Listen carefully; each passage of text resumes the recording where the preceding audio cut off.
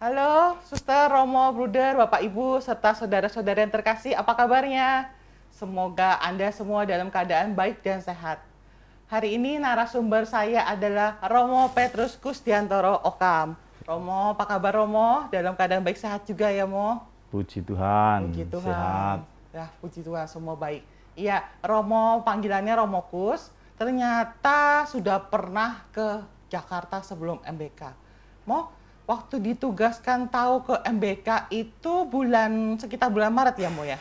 Ya, ke bulan eh, Maret. Maret ya. Terus eh, yang saat itu tercetus apa Mo? Waduh, dulu saya di pedalaman Kalimantan, tiba-tiba harus pindah ke ibu kota sebesar ini lagi paroki Tomang MBK. Ya, yang tercetus ya biasa saja karena pastor itu tugasnya sama, yaitu menggembalakan, mengajar, dan kemudian juga menguduskan ya pelayanan-pelayanan sakramen, kunjungan umat, biasa lah. Artinya tidak begitu kaget karena perpindahan itu bagian dari ya tugas kita. Kita harus melayani di mana pun kita berada. Itu aja sih. Yang paling mendasar perubahannya apa mo? Dulu di pedalaman kan Romo pernah cerita uh, kalau di pedalaman memang semua sumber daya manusia terbatas, lalu kita juga harus mengikuti konteksnya mereka dan sebagainya.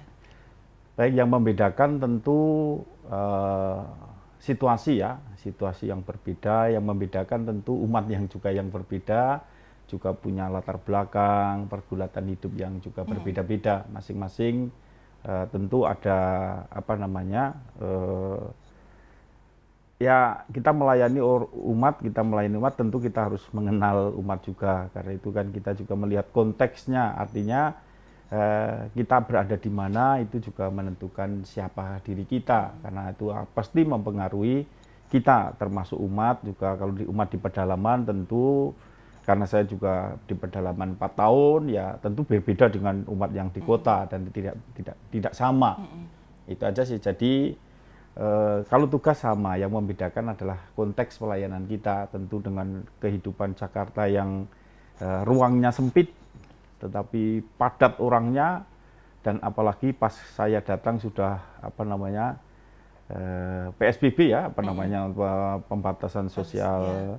Apa namanya yang kemudian kita hmm. tidak boleh keluar rumah, dan tentu kemudian uh, di kota besar ini ya juga uh, sudah modern lah, jadi umatnya juga sudah maju lebih maju daripada uh, umat yang ada di pedalaman. Hmm. Tentu punya perbedaan yang ya. jauh, hanya pelayanannya tetap sama. Sama ya tugas-tugasnya Tugas, seperti uh, ya. misa, sakramen, sakramen, sakramen melayani, mau, mau pengajaran, macam-macam sama saja.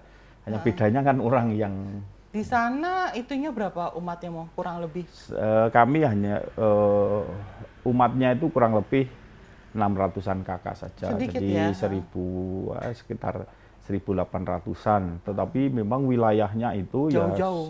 ya jauh-jauh. Jadi paling kurang lebih jadi satu wilayah ke wilayah lain berapa kilo mau? Ya pokoknya 100 kilo stasi. Wih. Jadi jadi jaraknya itu Nah, kalau boleh dikatakan kalau ini satu provinsi di sana itu kita satu paroki. Jadi wilayahnya oh. yang luas, penduduknya yang sedikit. sedikit.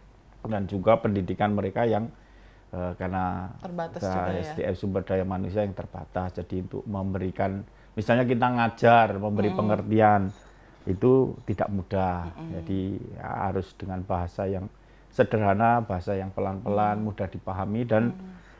uh, yang penting uh, saya kira juga pastoral itu kan kita pokoknya mau hadir. di mana umat umat ada di situ ya hadir. Kalau umatnya di ladang ya saya juga ke ladang. ladang jadi kalau umatnya itu makan singkong ya saya makan singkong. Jadi uh, itu yang ya kita pokoknya hadir, hadir di tengah mereka sambil kita juga mewartakan Injil, mengajar, mengarahkan, membimbing, akan begitu. Jadi uh, itu yang di pedalaman ya memang uh, dari kalau di sarana prasarana ya terbatas semua. Jadi entah jarak tempuh yang jauh, transportasi yang juga ah, kita harus kendaraan motor, jalan kaki, naik perahu. Ya, itu itu sih hal-hal yang istilahnya situasi, Saat-saat memang situasi seperti itu yang Jalannya juga susah ya, ya ya. jalannya susah ya tetapi ya itu memang harus dijalani kalau ya namanya pelayanan kan. Hmm.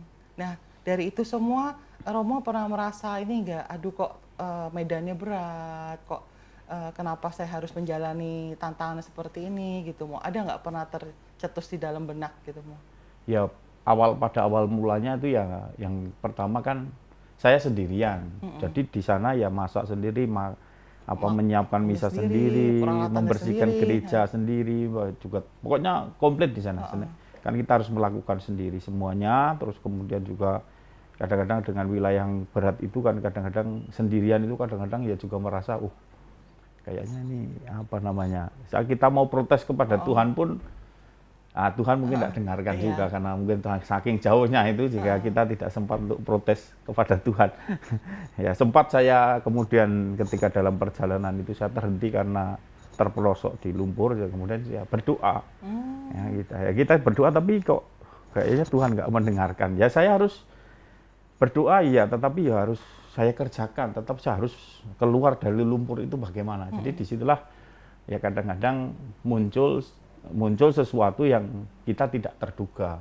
Nah di situlah ya kreativitas kita muncul ya. Misalnya bagaimana kalau eh, kendaraan terperosok di apa namanya lubang lumpur ya kita harus di situ banyak akal. Di situ ada banyak kayu di situ ada ah, banyak apa yang kita bisa eh, suatu hari ya memang saya terperosok begitu terus ya tidak bisa apa-apa ter- tiba-tiba umat datang kumpul Membantu, berkumpul langsung. dan kemudian saya juga agak bi- bingung bagaimana ini di tengah hutan tidak ada yang Hmm.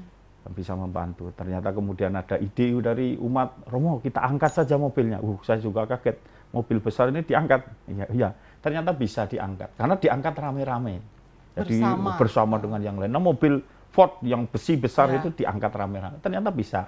Nah, itulah yang kemudian saya berpikir bahwa tidak ah, satu kesulitan pun tidak ada yang tidak ada tidak jalan, tidak ada tidak ada jalan. Jadi artinya pasti ada jalan asal kita ini ya memang tidak mengandalkan diri sendiri, ya tidak mengeluh, tidak patah semangat, ya kemudian berpikir, Nah, berpikir, dan kemudian juga mau bekerja sama dengan orang lain. Ya, kalau kita tidak ada, tidak tidak kenal dengan banyak orang, ya bagaimana orang mau menolong kita? Nah, kebetulan di sana kan Romo cukup dikenal, sehingga kalau ada kesulitan sedikit pun orang dengan senang hati membantu. Nah, itu yang membuat kita ini menjalani hal yang sulit menjadi mudah. Baik, ternyata seru banget ya kisahnya Romokus di pedalaman Kalimantan. Kita tunggu lagi bagaimana kisah-kisah Romokus yang lainnya. Saya Yudit Wijaya, sampai jumpa.